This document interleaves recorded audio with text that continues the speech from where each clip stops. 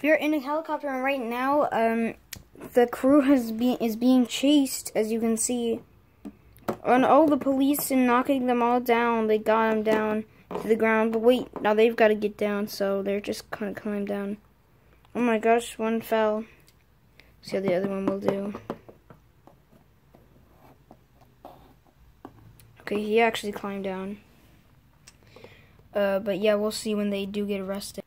As you can see, they are right now being handcuffed and they are being taken to the jail. They are now being taken to jail. So they are now in jail. Thank you, everybody. Goodbye. This is Fluffland News.